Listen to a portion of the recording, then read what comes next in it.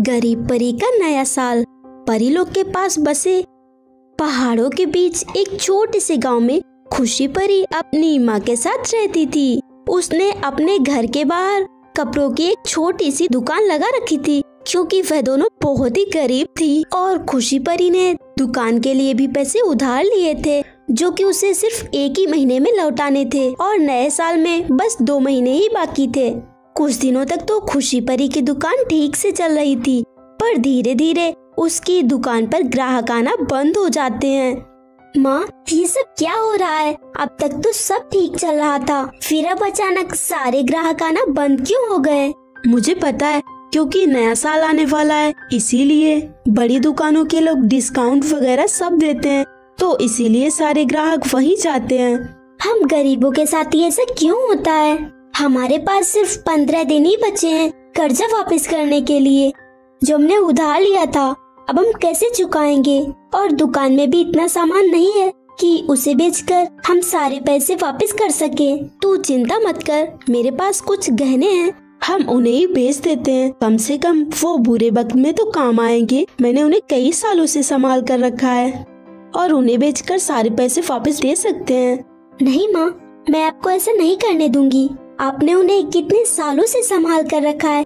अब आप ऐसे उन्हें नहीं बेच सकती। आप चिंता मत कीजिए, मैं आज कुछ न कुछ सोचती हूँ। वैसे भी, अभी हमारे पास पंद्रह दिन है। मैंने माँ से कह तो दिया है, पर पैसे कहाँ से लाऊँगी? हमने इतना कर्जा आखिर लिया ही क्यों? ये सारी बातें उस बेस्ट फ्रेंड रिया सुन रही थी। वह खुशी परी के पास आती है। तो ये बात है, इसीलिए तुम इतने दिनों से उदास लग रही थी। और मुझे भी नहीं बताया। पर तुम्हारी परेशानी का हल मेरे पास है। अच्छा पर वो क्या? मैं तुम्हें उधार चुकाने के लिए पैसे दे दूँगी। ये तुम क्या कह रही हो? मैं तुम्हारे पैसे कैसे ले सकती हूँ? वैसे तो हमेशा मुझे अपनी फ्रेंड कहती हो तो आज क्या हुआ? तुम्हें लेने ही पड़ेंगे। पर मैंने कहा ना, और तुम और तुम्हारी माँ। मेरे घर पे आ जाना। मैं तुम दोनों को कुछ काम दिलवा दूँगी। और सैलरी जितनी तुम चाहो, फिर सब ठीक हो जाएगा। तुम्हारा बहुत बहुत धन्यवाद। और हाँ ये लो ये एक ड्रेस है जो कई सालों से मेरे पास रखी हुई है। मैंने इसे एक बार भी नहीं पहना। तो तुम इसे नए साल पर पहन सकती हो। मैं जल्दी ही तुम्हारे पैसे वापस कर दूँगी। तुम उसकी चिंता मत करो। खुशी पर ही वह ड्रेस लेकर अपने घर आ जाती है और उस ड्रेस को पहनकर ट्राई करती है। ये तो बहुत ही अच्छी है। पर काश मेरे पास पैसे होते जिससे मैं और कुछ भी ले पाती। उसके इतना कहते ही उसके सामने ढेर सारे पैसे रखे हुए थे। अरे, ये कैसे हुआ? कुछ और मांग कर ट्राई करती हूँ। फिर वह जितनी भी चीज़ें मांगती, फिर सब चीज़ें उसके सामने थी। फिर उसे समझ आ चुका था कि फिर ड्रेस कोई साधारण ड्रेस नहीं, बल्कि एक जादुई ड्रेस थी। खुशी पर ही बहुत ही ज़्यादा खुश होती है, क्योंकि आज के बाद उसे जो भी चाहिए, वह उस ड्रेस से मांग सकती है। और अब उसकी गरीबी के दिन भी खत्म हो चुके थे। सो so फ्रेंड्स अगर आपको ये कहानी अच्छी लगी हो तो वीडियो को लाइक कीजिए, चैनल को सब्सक्राइब कीजिए और हमें कमेंट करके ज़रूर बताएँ कि आपको कहानी कैसी लगी। गरीब परी की दिवाली और जादुई ड्रेस एक बहुत ही खूबसूरत परी लोग था, जहाँ बहुत सी परियाँ रहती थी। उन परियों में कुछ गरीब थी तो कुछ अमीर। जो गरीब परियाँ थीं, उन्हीं में एक परी थी जिसका नाम सितारा परी था। वह अपनी बीमार माँ के साथ रहती थी। उसकी माँ हमेशा बीमार रहती थी और वह खेतों पर जाकर काम किया करती थी। उससे उसे जितने भी पैसे मिलते वह उन पैसों से अपनी माँ का इलाज कराती थी।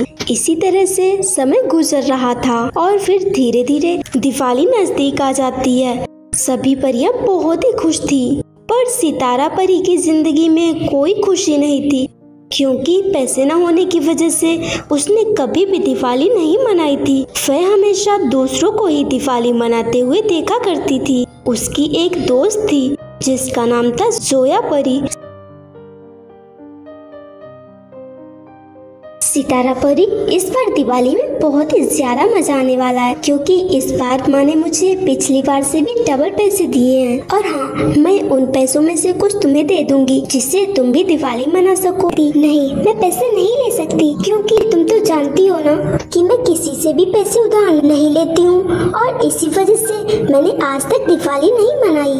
और जब हमारा समय अच्छा हो जाएगा तो सब ठीक हो जाएगा। अच्छा ठीक है, पर तुम जा कहाँ रही हो? वो मेरी माँ की तबीयत कुछ ज़्यादा ही खराब हो रही है, इसीलिए मैं खेत पर जा रही हूँ। बहुत ही ज़्यादा काम है। मालिक ने कहा है कि अगर मैं सारा काम खत्म कर लेती हूँ तो वो मुझे ज़्यादा पैसे देंगे और उन पैसों से मैं अपनी माँ का इलाज करा पाऊँगी। मैं भी चलूँ तुम्हारे साथ। तुम्हारी कुछ मदद ही हो जाएगी। नहीं, मैं कर लूँगी। तुम्हें भी तो काम होगा। सितारा परी खेत पर आ जाती है। यहाँ तो आ गई, पर अभी यहाँ कुछ ज़्यादा ही गर्मी है। थोड़ा पेड़ के पास आराम कर लेती हूँ। फिर काम करूँगी। सितारा परी वहीं एक पेड़ के पास बैठ जाती है, पर तभी उसकी आँख लग जाती है। कुछ देर बाद जब वह नींद से जागती है तो देखती है कि उसके सामने एक बहुत ही बड़ा घड़ा रखा हुआ था। इतना बड़ा घड़ा यहाँ कैसे हो सकता है? कौन रख सकता है इसे यहाँ? इसके अंदर देखती हूँ। जब वह उसके अंदर देखती है तो उसके अंदर एक बहुत ही अच्छी ड्रेस रखी हुई थी। अरे,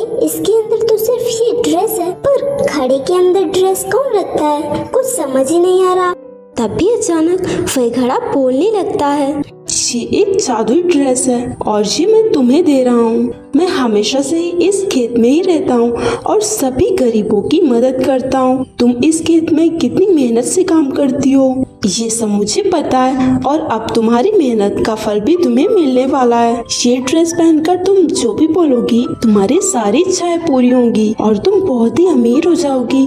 और अपनी माँ को भी ठीक कर सकोगी। आपका बहुत बहुत धन्यवाद। मैं हमेशा से ही ऐसे समय का इंतज़ार कर रही थी और अब मैं भी दिवाली मना पाऊँगी और मेरी माँ भी बिल्कुल ठीक हो सकती है। सो फ्रेंड्स अगर आपको ये कहानी अच्छी लगी हो तो वीडियो को लाइक कीजिए और चैनल को सब्सक्राइब कीजिए और हमें कमेंट करके ज़रूर बताएँ कि आपको कहानी कैसी लगी। वीडियो को लाइक करें चैनल को सब्सक्राइब करें। और बेल आइकन दबाना न भूलें। परी का जादुई मोबाइल फ़ोन। श्रुति परी को मोबाइल फ़ोन इतने पसंद थे कि उसकी माँ का फ़ोन जब भी खाली होता तो वह फटाफट से उसे देखने में लग जाती। पर उसकी माँ उसे हमेशा ही फ़ोन यूज़ करने से मना करती रहती क्योंकि वह बहुत ही छोटी थी। पर उसे कोई फ़र्क ही नहीं पड़ता। श्रुति परी फिर तूने फ़ोन लिया? मैंने तुझे कितनी बार मना किया पर तुझे समझ ही नहीं आता। माँ मैं बस अभी देख रही हूँ। बस थोड़ा देखने के बाद मैं पढ़ने के लिए जाऊँगी। ठीक है पर याद रखना मैं थोड़ी देर के लिए बाहर जा रही हूँ। मेरे आने तक सारा काम कर लेना। हाँ माँ मैं कर लूँगी। आप चिंता मत कीजिए अब सारा काम करना पड़ेगा।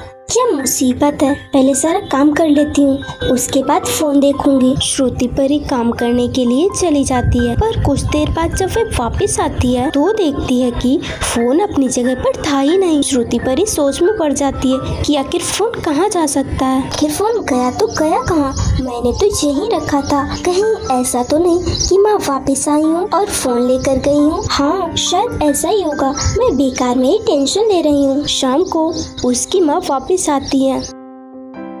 श्रुति परी मेरा फ़ोन कहा माँ आप ही तो लेकर गई थी। ये क्या कह रही है? मैं तो तेरे सामने ही गई थी और फ़ोन तेरे पास ही था। ओ नो, अगर ऐसा है तो फ़ोन गया तो गया कहाँ?